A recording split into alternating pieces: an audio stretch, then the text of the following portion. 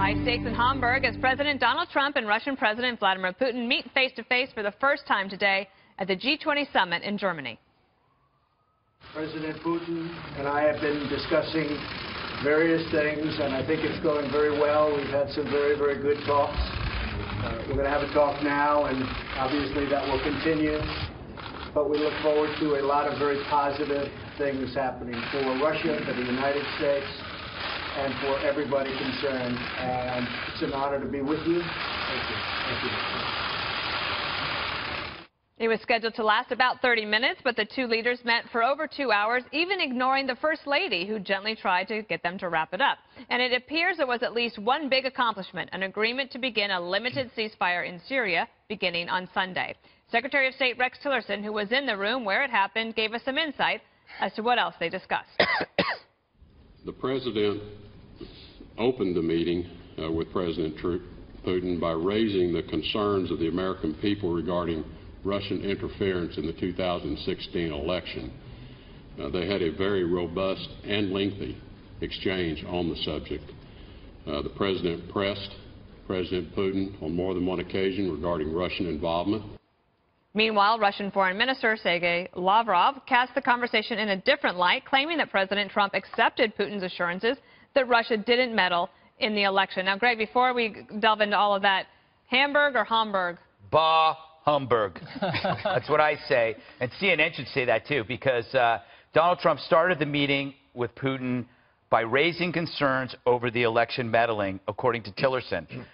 That sound of a toilet flushing right now coming from Atlanta is CNN's bogus narrative because they said, according to a source, right. that he would not confront him over that, and he, and he did. So maybe they might refute this that. This was also they did something like this uh, just a few weeks ago where they said they, remember they had to correct it. They Comey said was going to testify yes. for that, and he didn't. Yeah. Right, right. The other thing too is I'm really, and I don't know if we're doing it on our network because I I, I always watch the opposition or the people who set fires and and and throw uh, rocks at people are not called protesters.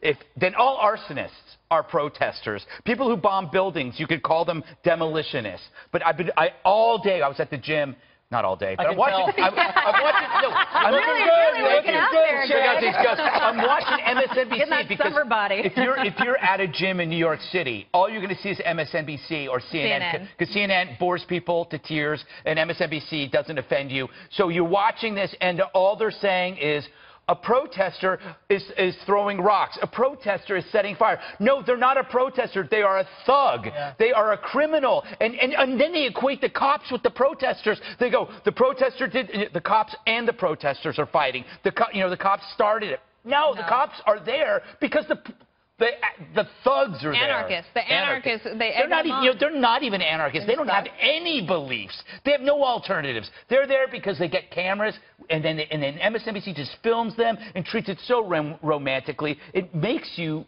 just scream. You know what makes me nuts, though, is that these people are anti-globalist, yeah. anti-capitalist, and some of them are anarchists, as you described, mm -hmm. and a lot of them are anti-Trump.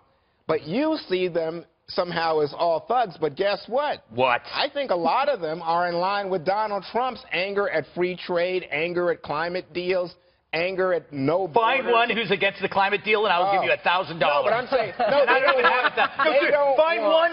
Find one. You give me how much? Thousand bucks. Oh, you find one thug. right here. So you find one thug. Shake on it. Find one thug who's against climate change. A thousand bucks. No, but you wanted to call these guys thugs, but I don't hear you say that when Trump people who are anti-trade. They don't throw rocks oh, and they don't oh, set fire. Again, a thousand dollars. Find a Trump eh, protester oh, who sets a car on fire. I want in on this. Can I get some of this action. Jesse wants a thousand dollars. This is this is like you draw a circle, you know, and yeah. the Trump people here and Bernie people here. Yeah. And you know so, what? They kind of meet. So but they're guess, not violent. So guess what, Juan? Yeah. This segment, we are going to talk about the protesters later on in the show. Are we? Yes. I Sorry about so. that. Yeah, but we'll, we'll, get to, we'll get to it. But, um, no big deal. I forgot. Let's talk uh, just a little bit about the accomplishment that was made today, um, Jesse, which is basically now we've been finally have some movement to at least get a ceasefire in a small part of Syria in the southwest region with the hope that with well, a lot of details have to be worked out that some humanitarian assistance can finally get to the innocent people that are there. It's good news on the surface. This could have been gift wrapped beforehand to set it up like a big achievement after the meeting. and who knows how long it's going to last. So we'll just keep our fingers crossed. I thought it was a very high stakes meeting, and I think Donald Trump made the country proud.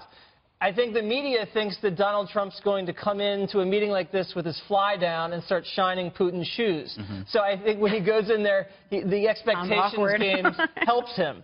The optics were good. He won the handshake game big time. Oh, he did? He looked comfortable and at ease and serious. And then Melania was seated next to Vladimir Putin at the dinner. They both speak German, so that looked really good. On substance, like you said, we have that accomplishment in Syria, but they also talked about cybersecurity and trade and But Ukraine. that, I did think that was a little weird that they that we have Lavrov, the foreign minister of Russia, Lisa, announcing that we apparently are going to do some joint initiative with Russia on cybersecurity. Yeah, that's a little ironic. really? But look, but I I also think that sort sort of this buildup regarding the uh, election meddling uh, to me just seems grossly overbuilt because you look at all these other issues that we're facing as a nation and things that are uh, President Trump should talk to Putin about and talk to Putin about.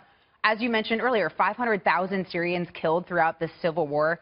Uh, we've got ISIS in Syria as well, which is obviously a huge threat. Uh, Russia increased trade with North Korea by 73% in the first two months of 2017. Uh, they're also trying to box the U.S. in with China with, with what we're facing North Korea right now. North Korea now can launch an uh, ICBM uh, within range of Alaska. So of all the things that we are facing right now and all the threats that we're facing, not to diminish the election meddling, but it doesn't seem uh, quite up there with some of these other things. Right. Well, um, uh, there, Senate Major- Minority Whip Dick Durbin, he had a little something to say about President Trump in the meeting. Let's listen to that. Senator, what's the most positive thing you have to say about Vladimir Putin and the most negative?